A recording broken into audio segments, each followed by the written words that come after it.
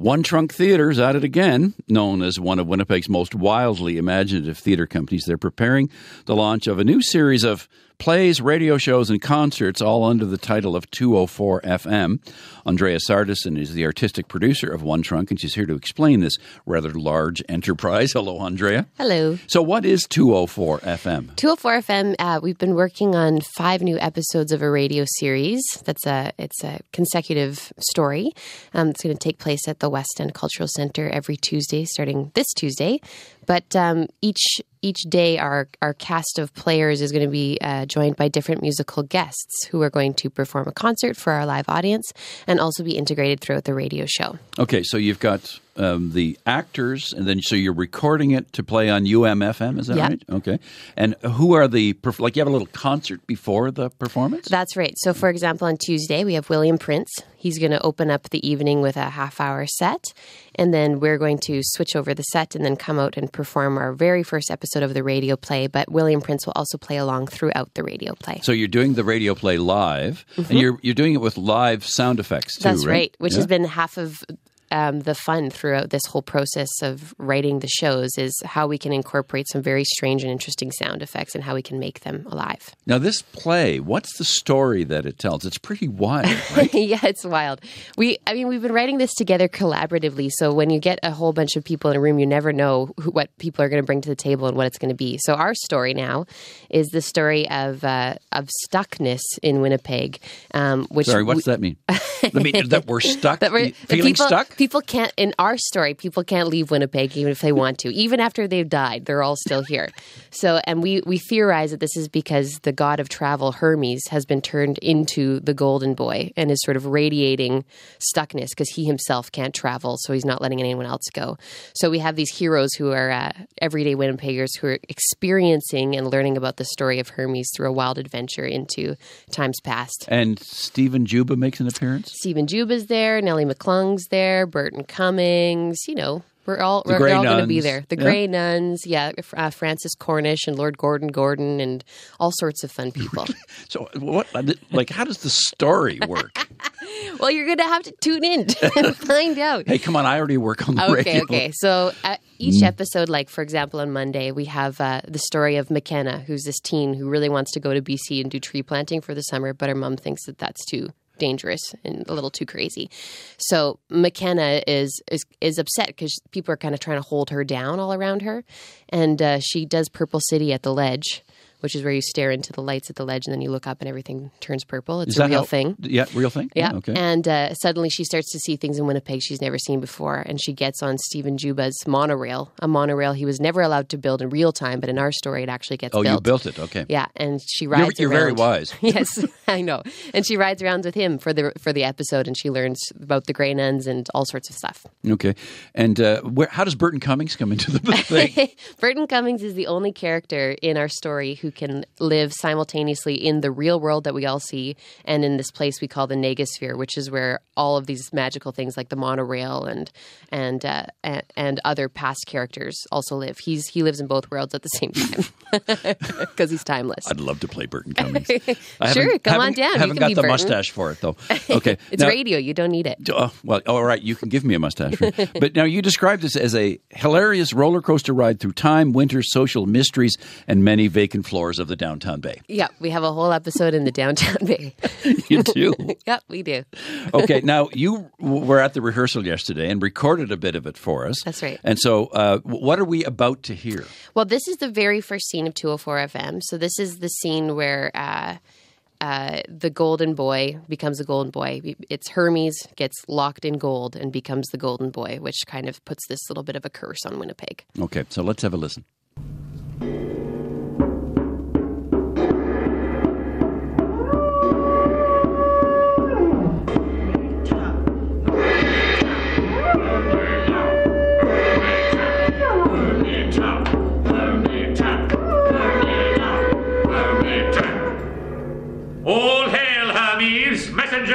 Gods! All praise Hermes, conductor of souls. We welcome you, O Hermes, to this, our mortal plane. Thanks, guys. I'm just super chuffed to be here. Oh, great god of wonder, god of commerce, god of exploration and adventure. Come on, I haven't got all day. We, the Masonic Order, call upon you to bless this our new bridge on the Seine, so that trade, profit, and commerce may flourish here in our great city of Paris. Oh, cool. Well, you called the right guy. That sort of thing is totally my bag. Just let me crack out the old blessing hands. Ah.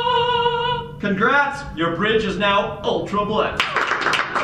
We thank you all, Hermes, and as a sign of our gratitude, we present you with this an enormous ice cream cone, as is custom with our Hermetic tradition. Oh, super cool. I love ice cream. We know, my lord, we have studied the lost texts very thoroughly. We have built this bridge to the exact specifications laid out by your ancient followers. Yeah, those guys were the best. Take note of the stonework, my lord. The rocks were forged from the Olympian quarries, just as you asked. This is all seriously top notch. Listen, dogs, I'm gonna peace out, but do you mind if I take that gold wheat thing with me, though? I got some redecorating to do, and it would be super helpful. Oh, you mean the antediluvian wheat of Midas? Of course, my lord. Let me just fetch the gauntlets of impunity so that you may handle it with safety. You see, the artifact traces its glorious history back to King Midas, who, as you know, was cursed by the gods so that everything he touched turned to gold. As a result, the sheaf of wheat carries the same. Yeah, yeah, yeah, yeah, yeah, yeah, yeah. It's cool. Whatever. I think I'll just grab it. Uh, thanks, guys.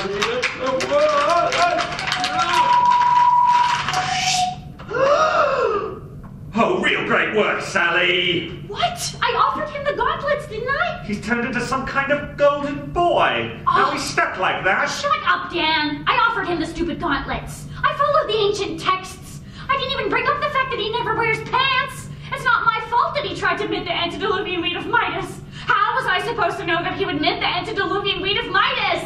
It's not my fault, Dan. This is bad, guys. We really bumbled up this time. With Hermes' magic trapped in that statue, it's bound to get weird. Hey guys, I feel funny. Like, uh, like I kind of hate myself. Me too. Like, I feel all my motivation slipping away. It's the statue. Hermes' power is being subverted. Before long, all of Europe will be under its fell sway. Not to worry, not to worry. We can't free Hermes, but we can stick him somewhere that no one will think to look. Good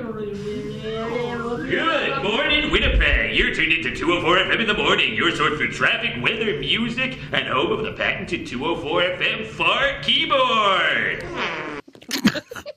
What was that? I'm so sorry. The patented fart keyboard. Yeah, it's uh, we have a um, a kind of lame radio host character that reappears.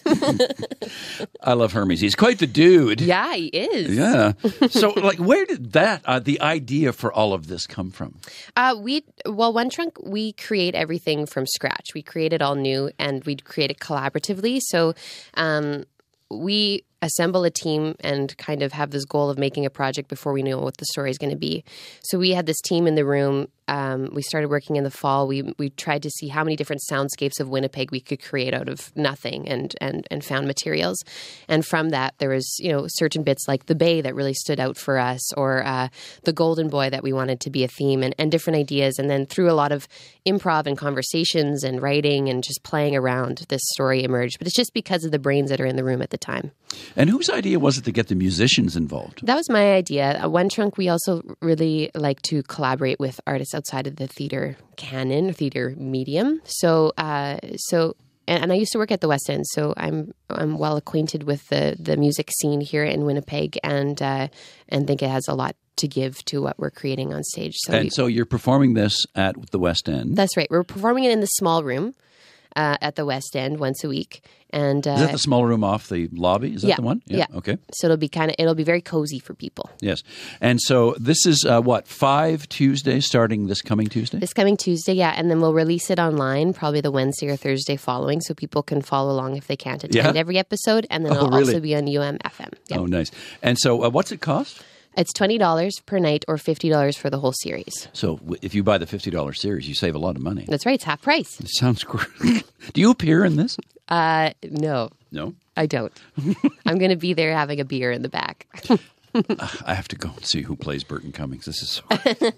Andraea, this is great. Congratulations on another what sounds like magnificent work. Thank you, Terry. Alrighty. Thanks for having me. That's Andraea Sartison. She's the artistic producer of One Trunk Theater. You can catch 204 FM every Tuesday, beginning uh, this coming Tuesday, April the 26th through May the 24th at 8 at the West End Cultural Center. Tickets $20 per show, $50 for the series.